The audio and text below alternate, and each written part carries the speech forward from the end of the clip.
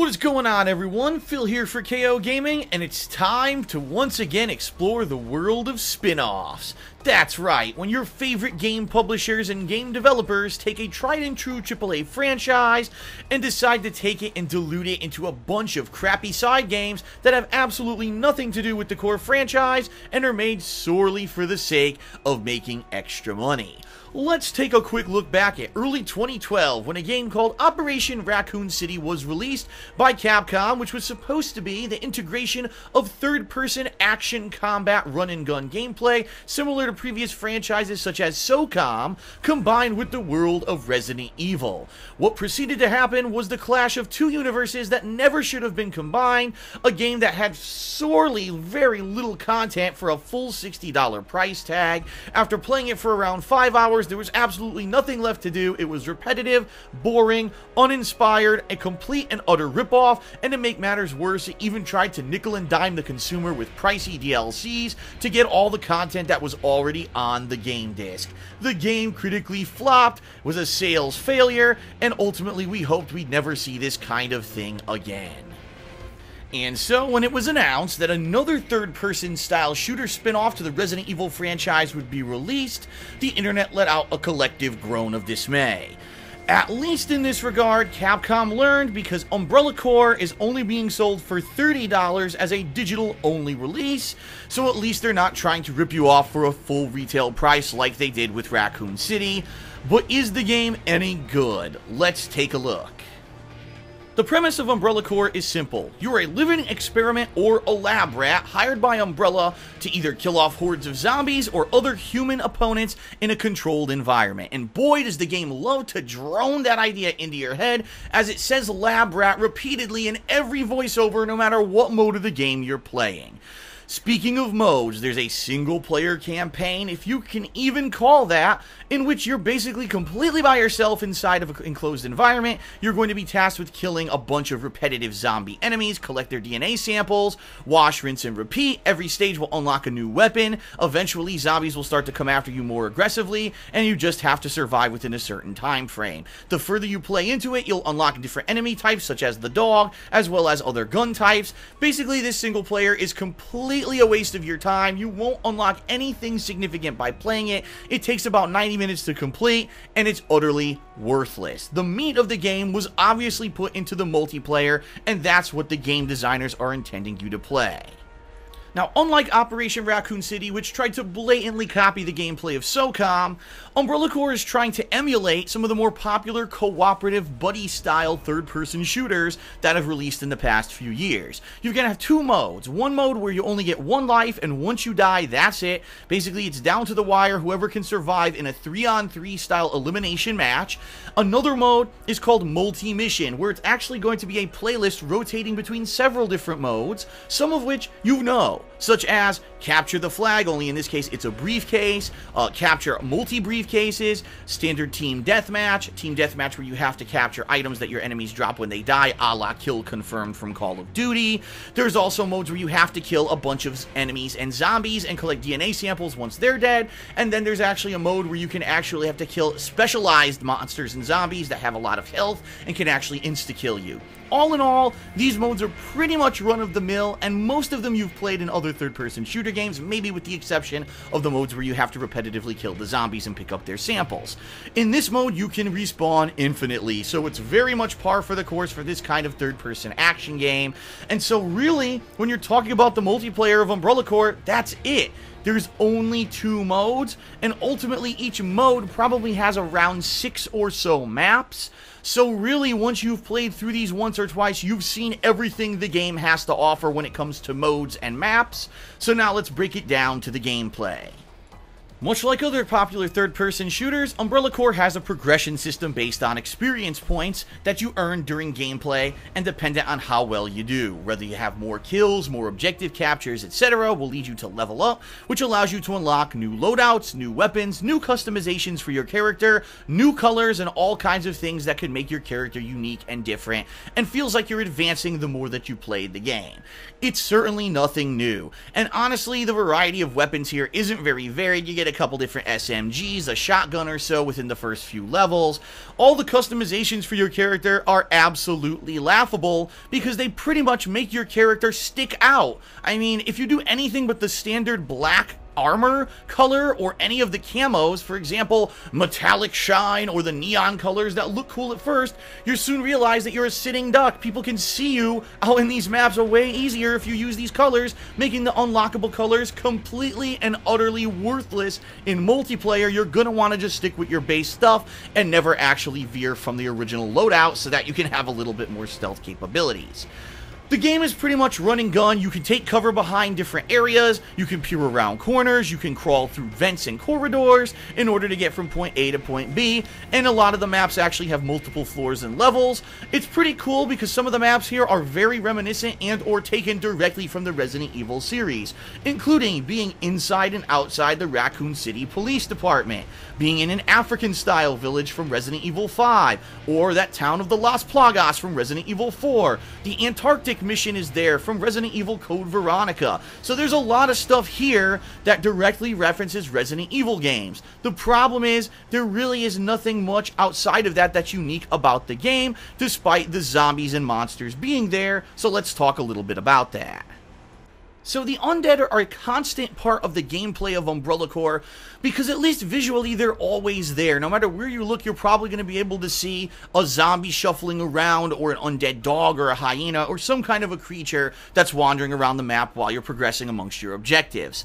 The problem is they really don't affect matches much altogether at all. In fact, you have on your person what's called a zombie jammer. Don't ask me how that works because you think they would have used it in a Resident Evil game if it actually existed, by which zombies and the undead will not attack you. It's almost like they don't even know you exist. So unless you actually accidentally shoot a zombie or you get shot yourself and your zombie jammer gets damaged, the undead are never a factor in a matchup. You can completely ignore them and you'll never have any kind of an influence on the outcome of a competitive match. Now, there's a few exceptions. Like I said, if you shoot a zombie, you'll actually anger it and it'll come after you, and sometimes you'll be trying to shoot an opponent, accidentally shoot a zombie, and next thing you know, a couple zombies that you clipped come after you and start eating you, and it could be a little bit of a hindrance. In addition, if you get shot but you survive and escape your enemy, you might have your jammer damage. Now, that means that any nearby enemies are going to sniff you out a la the Resident Evil games and come after you. This is kind of a unique unique element because I've never played a third person shooter before where you're on the run not only from enemies who are trying to kill you with guns, but then also the undead sometimes of, you know, get alerted to your presence and are chasing after you. It could be a pretty neat thing to land a hit on an enemy, run away, and then you find out a couple seconds later they actually died because a mob of undead jumped on top of them and they were unable to help themselves. It is kind of something cool, and it's a cool gimmick that actually, for at least the first few rounds that you're playing, may grab your interest and make the game feel kind kind of unique in that regard.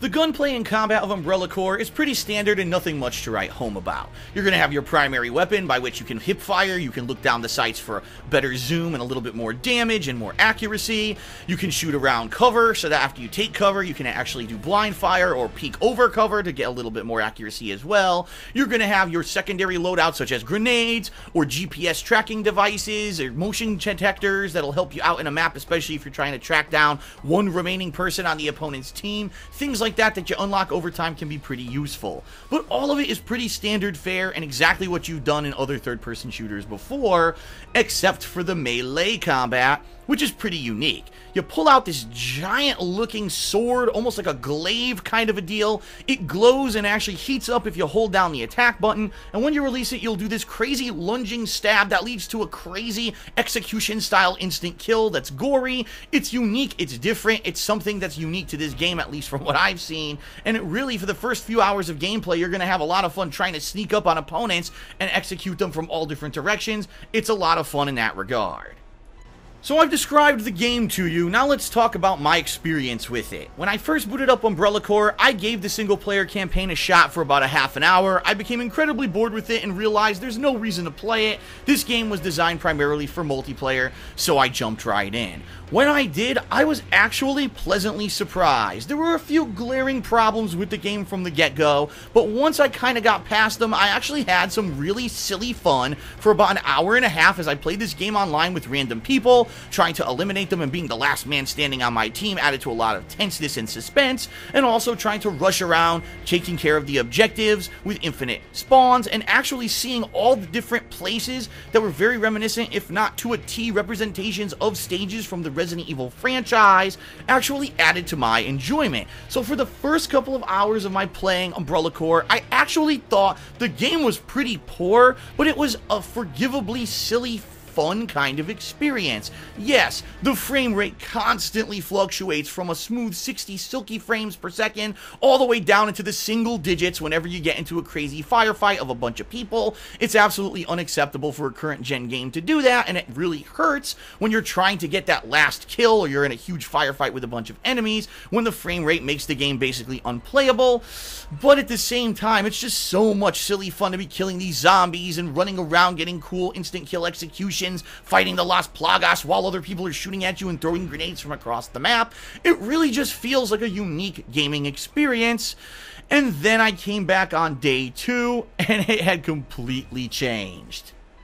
After only 24 hours of being released, players had already horribly broken Umbrella Corps, found all the crazy abusable stuff, and turned the game into an unfun, uncompetitive mess. First off, the more you play, the more you unlock, and ultimately people are going to find the best loadouts, but within 24 hours, everyone had equipped these motion control trackers, so as soon as you're trying to find someone on a map, it makes it so easy, you can actually see them through walls. Once you get that item, you're never going to want anything else, it's incredibly overpowered. Hip fire, it sucks. It does almost zero damage in this game, especially because the frame rate keeps dipping whenever you fire at something. Chances are you're going to miss, and it does so much less damage than looking down the sights that hip firing and even doing kind of blind cover fire is completely and utterly worthless. There were a few times when I should have got double or triple kills, but my hip fire did so little damage that I just got slaughtered by someone looking down the sights. It's utterly unbalanced and a complete joke. But by far, the absolutely worst thing thing about Umbrella Corps are the melee attacks. They instantly kill every single time. To make matters worse, they're almost undefendable. The only way to avoid one is if you are also going for a melee attack at exactly the same time as your opponent, by which you'll clash, bounce off of each other, and then you'll both get a second chance to try to execute each other with a melee attack. They also teleport across rooms through items and walls and cover. There were numerous times when I had maybe two or three zombies or monsters between myself and a human who was running in the room. They would activate a melee attack, teleport through the room, and insta-kill me. It's incredibly overpowered. It's incredibly unbalanced. It's broken as shit. I can't believe the game developers didn't know that the melee attacks were completely and utterly unfair. It actually got to the point that on certain maps, people were in such an enclosed space, they would put away their guns and only run around using these knives because they were so incredibly overpowered. If you actually wanted to play the game like you should be playing it like a shooter, you lost no matter what by default. It's pathetic. It's really poorly designed and I just can't believe it. In addition, I just can't help feeling the game feels like it's either unfinished or unpolished. I mean, just when you're walking across the floor, you're walking in such a weirdly, just robotic, smooth movement. What human walks like that? I mean, we added in kind of camera bob and stuff to games a decade ago. And the fact that it's not in Umbrella Corps is just kind of astounding. It feels like you're hovering over the ground rather than actually touching it with your feet. The fact that the frame rate fluctuates so ridiculously constantly. Every time you get into a major fight, especially if there's zombies or dogs involved, all of a sudden you lose track of what's going on and you can't get a beat on anything because the frame rate dips into the teens or lower. It's completely unacceptable in a competitive shooter in this day and age that they couldn't get the frame rate right. And it certainly isn't because there's a massive amount of detail in the graphics or anything like that. I mean, you can tell that they kind of skimped on every single corner and cut every single shortcut into this game to get it released. I don't understand how it's not optimized to run at a steady frame rate so you can actually play the game. And then, of course, the melee attacks are absolutely unacceptable. In any game where you're going to instantly kill someone if you're even remotely near them, no matter what circumstance, no matter what's between you and them, that's a joke. There were actually times when I had my gun drawn, beat it on someone, was firing directly into their head, they teleported through my bullets, and insta-killed me. That's bullshit. And, you know, initially this game is fun for a few hours, but then when you finally try to play and maybe get a little bit better at the game and you realize how bad of a game it actually is, you just have to shrug and say, what a piece of fucking donkey shit. And so I really hate to report it after playing Operation Raccoon City and getting completely ripped off and paying $60, I've now paid $30 for a discount bargain basement style competitive shooter game, of which I've played about 4 hours of gameplay of and I will never touch again. Umbrella Corps is a piece of fucking shit. This game should never have been made. It has so many flaws that have been solved a decade or more ago by very similar style games. You can tell they did not have a big production budget. The game was obviously rushed and or they cut tons of corners to get this out to market. It's not very fun after the first few initial hours. I'll be honest with everyone here. I can't recommend you play it. I can't recommend that you even touch it unless it ever goes free. If you're like a PSN or Xbox Xbox Live subscriber and they've got those free to play games during the month, then maybe for a laugh, download it and play it. But don't spend any money on a stinker like this. You could go to your bargain bin at your local game shop and pick up any third person shooter game. It's gonna feel better than this. If anything, the only little inkling of fun that you can get is playing a third person shooter in a Resident Evil reminiscent stage. Like, I really liked playing on an Antarctic stage or the Las Plagas village from these different Resident Evil games but once that kind of nostalgia factor weared off, I just didn't want to play this broken piece of crap anymore. So all things considered, the fact that you only get a little bit of enjoyment out of it, the single player is completely and utterly fucking worthless. The online multiplayer has a terrible fluctuating frame rate that makes it unplayable. The jokishly bad walk animations, the insanely overpowered melee attacks, hip fire that's completely and utterly useless. I give Umbrella Corps a 3 out of 10. Don't play it. It's functional, but it's a laughable joke. Skip this petrified dog turd and go play something else that's worth your time. Another shitty spin-off down. Thank God. Thanks for watching this review, everyone, and if you enjoyed it, please consider sharing it with a friend. In addition, please check out the video description where you'll find links to such things, such as my raw gameplay of Umbrella Corps over on my DSP Gaming channel, as well as my Amazon Associate link and my Patreon. Thanks a lot. I'll see you next time for another honest game review. Peace out.